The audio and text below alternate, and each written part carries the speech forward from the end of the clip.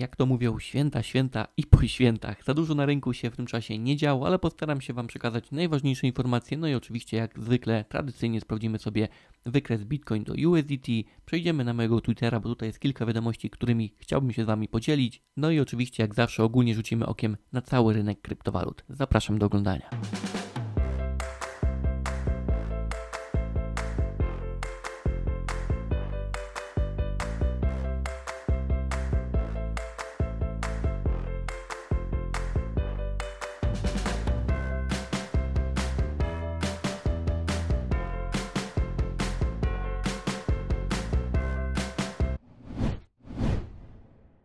Witam Was na kanale Kryptopodróże w kolejnym Krypto News, w którym przekażę Wam najważniejsze informacje ze świata kryptowalut. Jeżeli jesteś na tym kanale po raz pierwszy, rozmawiamy tutaj o kryptowalutach, o pieniądzach, o podróżach, więc jeżeli jest to coś, co Cię interesuje, koniecznie kliknij subskrypcję oraz dzwoneczek, tak aby nie przegapić kolejnych nagrań w przyszłości, a pojawia się ich tutaj całkiem sporo. No i oczywiście tradycyjnie przypominam, pamiętaj, to nagranie to nie jest porada inwestycyjna, a ja nie jestem doradcą finansowym, ok?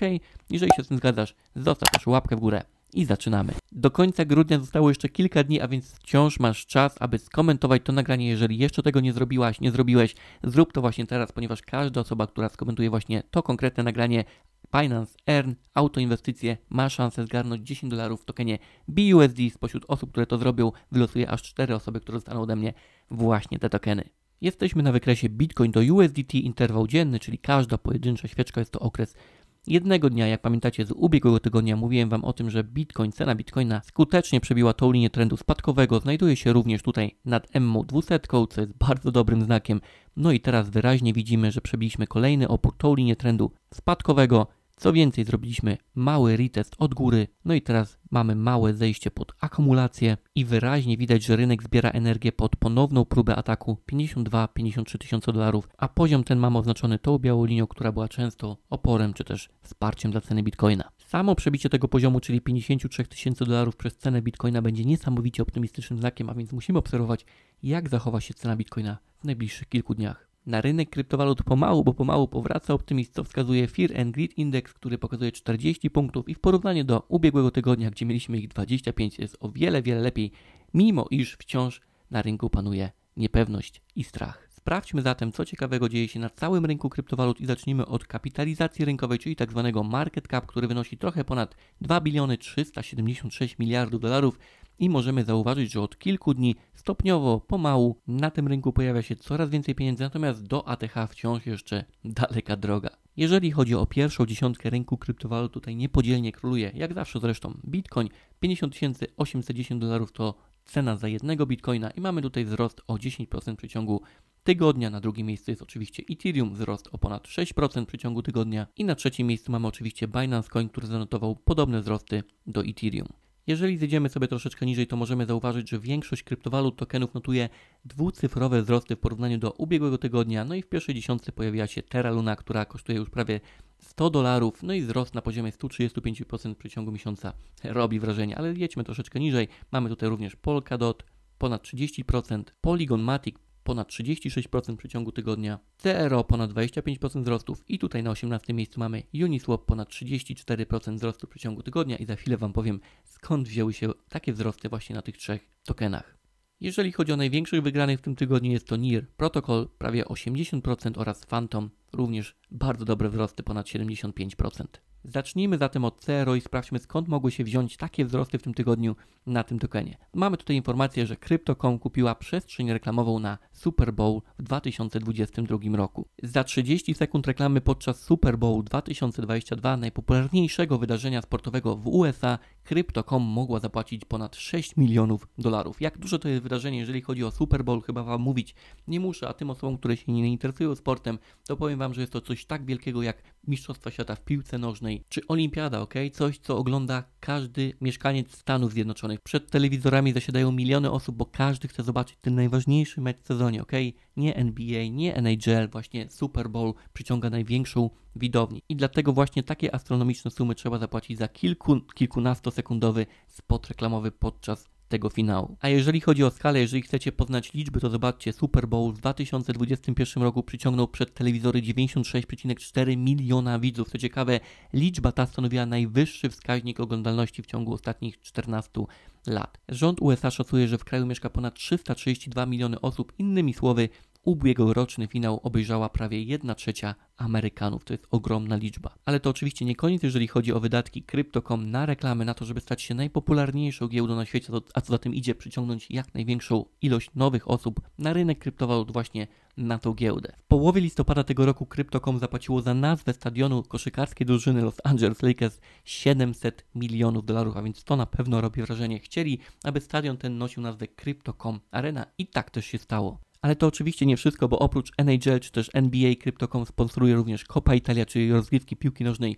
we Włoszech, klub piłkarski, jeden z największych na świecie, Paris Saint-Germain, Formułę 1 czy nawet UFC, czyli największe walki MMA na świecie. I jak mówi dyrektor marketingu firmy Steven Kalifowicz, wszystko to teraz robią ta wszechobecna reklama Crypto.com polega na budowaniu świadomości marki. Ok, w przyszłości jak zwykły Kowalski pomyśli sobie o kryptowalutach, będzie widział z tyłu głowy Crypto.com. I to będzie prawdopodobnie pierwsza giełda, na której się pojawi, aby zacząć inwestować właśnie na tym rynku. A że takie działanie, właśnie budowa świadomości marki działa, mamy tego dowód od początku roku. CRO wzrosła o ponad 1600 i teraz słuchajcie to co najlepsze, czyli wisienka na torcie. Dyrektor generalny firmy ma nadzieję, że w ciągu najbliższych pięciu lat uda im się wejść do pierwszej dwudziestki największych światowych marek handlowych, konkurując bezpośrednio z firmami kalibru Apple czy też Nike. To na pewno robi wrażenie. A jeżeli chodzi o wzrosty na Uniswap oraz Polygon, to na pewno ma to związek z informacją, która pojawiła się kilka dni temu. Uniswap na Polygonie. Cena Matic osiąga all-time high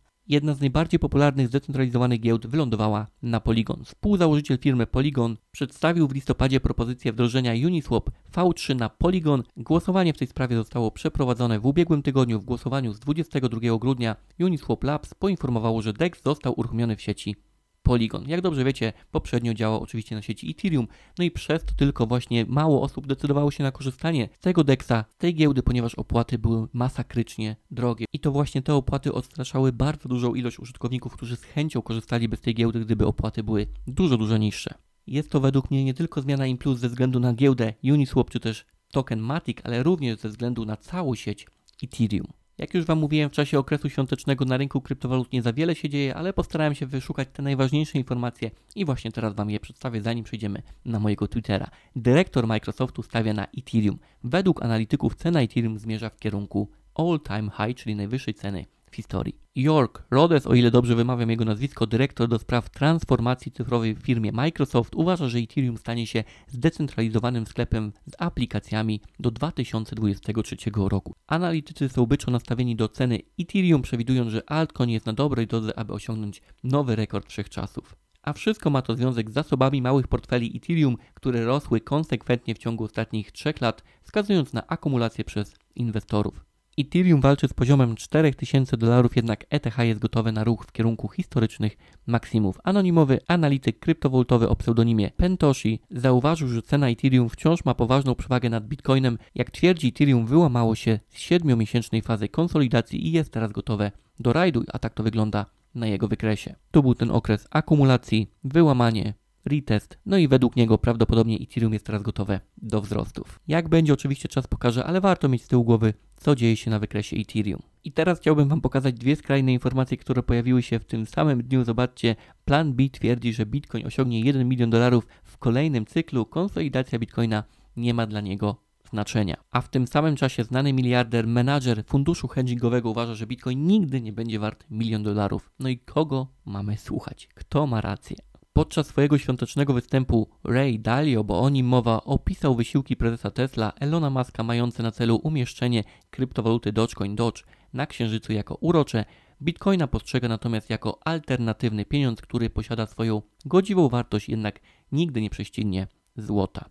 A jeżeli chodzi o prześcignięcie złota, to właśnie plan B uważa, że nie ma jeszcze mowy o supercyklu. Zauważył, że nie nadszedł jeszcze czas, aby mówić o hiperbitcoinizacji, ponieważ stanie się to możliwe wtedy, gdy kapitalizacja rynkowa bitcoina przekroczy limit 1 biliona dolarów, czyli przeskoczy po prostu rynek złota, a następnie limit 100 bilionów dolarów, czyli rynek nieruchomości. Zdaniem miliardera główną przewagą złota nad bitcoinem jest jego niewykrywalność. Jego zdaniem flagowa kryptowaluta jest warta około 20% złota, wyłączając rezerwy banków centralnych i biżuterię. No to takie ma przewidywania, taką ma opinię, jeżeli chodzi o złoto czy też bitcoina. Dajcie mi znać w komentarzach, co wy myślicie na ten temat. Który z panów waszym zdaniem ma rację?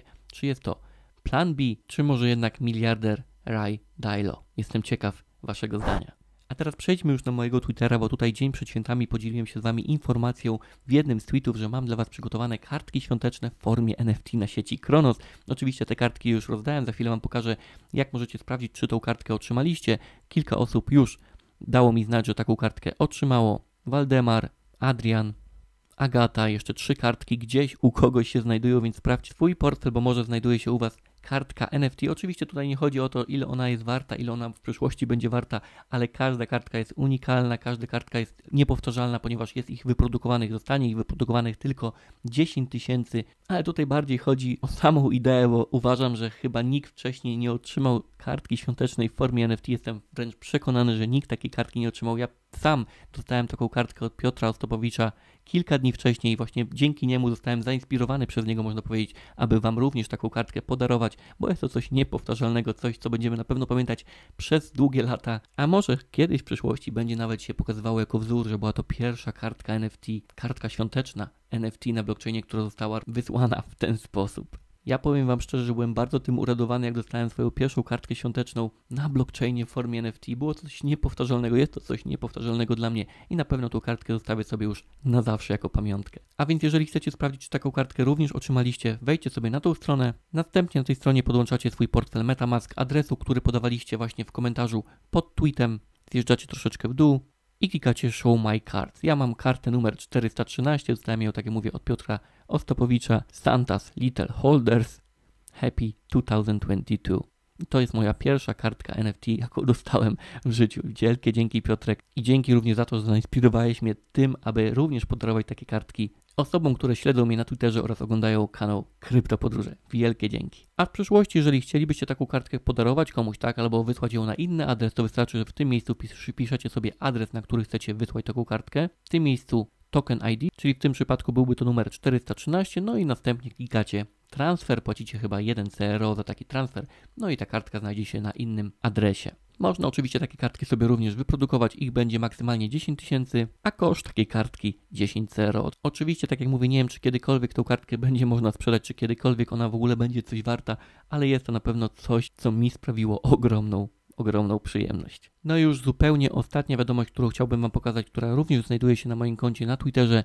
Jest to informacja od Filipa, którą podzielił się po tym, jak opublikowałem film na moim kanale o trawa NFT, to jest właśnie ten film 3 dni temu, którym pokazywałem Wam, jak można zakupić skrzynię tutaj na trawa NFT, dokładnie te skrzynie, w których znajdują się różnego rodzaju atrybuty, hełmy, tarcze, broń, zbroja, z których można złożyć sobie rycerza i właśnie ten rycerz, umownie mówię, rycerza i ten rycerz wydobywa nam tokeny trawa. Jest tutaj dość spory procent, spory procent gwarantowany, co ważne, bo wiemy jaki będzie minimalny procent przy poszczególnym rycerzu, czy to brązowym, czy srebrnym, czy złotym, czy diamentowym. No i zobaczcie, w przeciągu tych kilku dni, dokładnie 3 dni, wydobył mi 563 tokeny trawa.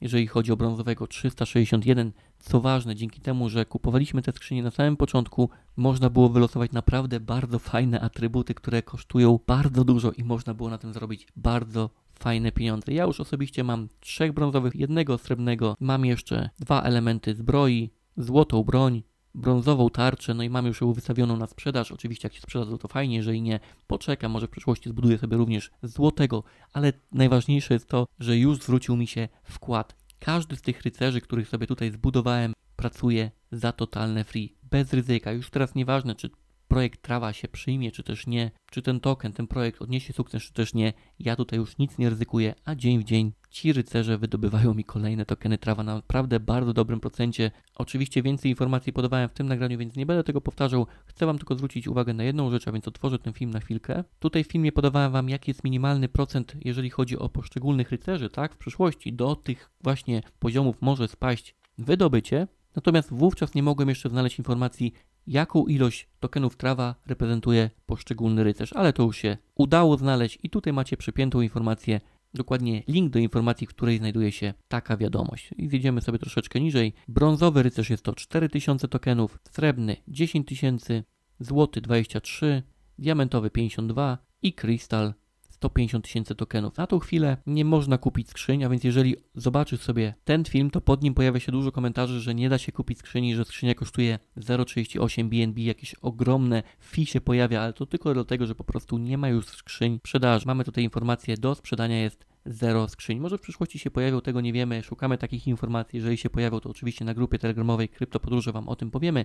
Na tą chwilę skrzyń nie da się kupić, stąd też pojawia się tak ogromne fee. Natomiast samych rycerzy można sobie złożyć tutaj na Marketplace, sortując od najniższych cen, można sobie takiego rycerza złożyć. Ale dlaczego Wam w ogóle o tym mówię? Nie po to, żeby Was zachęcić do tworzenia sobie rycerzy i kopania tokenów trawa, bo może Was ten projekt w ogóle nie interesować. Chcę Wam tylko pokazać, jakie są tutaj możliwości na tym rynku. Zobaczcie sobie, jeszcze raz wrócimy na moje konto na Twitterze, czekajcie.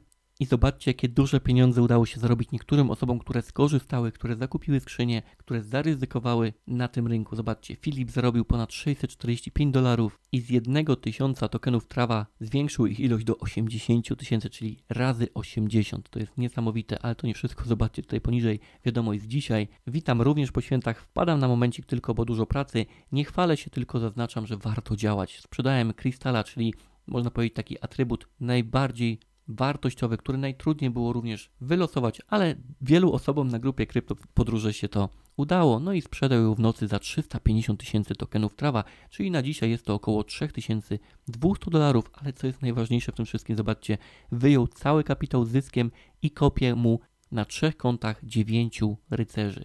Czyli nie dość, że zabezpieczył wkład, wyciągnął zysk, to jeszcze ma pasywkę w postaci właśnie dziewięciu rycerzy, którzy kopią naprawdę dużą ilość tokenów trawa. Takich osób, którym udało się zrobić naprawdę fajne pieniądze, było dużo, dużo więcej, czego świadkami byliście na grupie telegramowej. Ja Wam pokażę jeszcze jedną osobę. U mnie podsumowanie wygląda tak. Kupiłem 20 skrzyń, pracuję brązowy, złoty i srebrny rycerz. Ze skrzyń wyjąłem 400 dolarów zysku. Z zysku kupiłem surykatkę i jeszcze trochę zostało. Jest zajebiście. Surykatka to jest jeden z projektów, który też pewnie w przyszłości Wam pokażę na sieci Kronos, ale o tym już nie w tym Crypto News. Czytajmy dalej. Przy obecnym kursie trawy wychodzi, że rycerze wykopią około 1000 dolarów rocznie. Zobaczcie, 1000 dolarów rocznie przy obecnym kursie trawy pasywnie i co ważne, bez ryzyka. Do tego też dodałem kilka słów od siebie. Zobaczcie, kupił kilka dni temu skrzynię za 2000 tokenów trawa. Wczoraj w nocy sprzedał jeden z atrybutów za 350 tysięcy tokenów trawa. Zysk ponad 3200 dolarów. Ale nie to jest najważniejsze, przynajmniej nie z mojego punktu widzenia. Słuchajcie, najważniejszy jest fakt, że dzięki temu ma 9 koparek, w cudzysłowie, rycerzy, którzy dzień w dzień, godzina w godzinę wydobywają mu kolejne tokeny. Czysty zysk, bez ryzyka, bez względu na to, czy projekt trawa będzie się rozwijał w przyszłości, czy też nie. O to właśnie chodzi. Buduj pasywki, ograniczając ryzyko do minimum, a wkład początkowy staraj się pomnażać ponownie, szukając nowych okazji, stosując podobną strategię. Zabezpiecz wkład w pierwszej kolejności, następnie buduj pasywkę oraz pomnażaj wkład. I tak w kółko. Brawo, Cieszę się bardzo, jestem dumny, że tu na kanale Krypto Podróże coraz więcej osób odnosi sukcesy i zaczyna zarabiać naprawdę fajne pieniądze. Jeżeli jeszcze nie jesteś na grupie telegramowej Krypto Podróże, zachęcam Cię, abyś sobie dołączył, dołączyła. Link do tej grupy znajdziesz w opisie tego nagrania. Jest to grupa darmowa, tam nie ma spamu. Raczej przyjazna i miła atmosfera. Osoby, które znajdują się na tej grupie, starają się pomagać sobie nawzajem. Budujemy naprawdę fajną ekipę, bez spiny i bez potrzeby konkurowania z kimkolwiek, bo to nie o to tutaj chodzi. Tutaj chodzi o to, aby każdy odnosił sukces na tym rynku, bez względu na to, z kim działa. Zachęcam Cię również, abyś obserwował moje konto na Twitterze, bo tutaj również dzieje się dużo dobrego, dużo informacji podaję, których nie jestem w stanie pokazać Wam na tym kanale o czasie. Także to tyle w tym nagraniu. Mam nadzieję, że ten kryptonews był interesujący, był ciekawy. Zachęcam Cię do dołączenia do grupy telegramowej Kryptopodróże, bo tam jest naprawdę dużo wartości, dużo fajnych, mega wartościowych ludzi. Na pewno poczujesz się jak w domu. Trzymajcie się. Hej.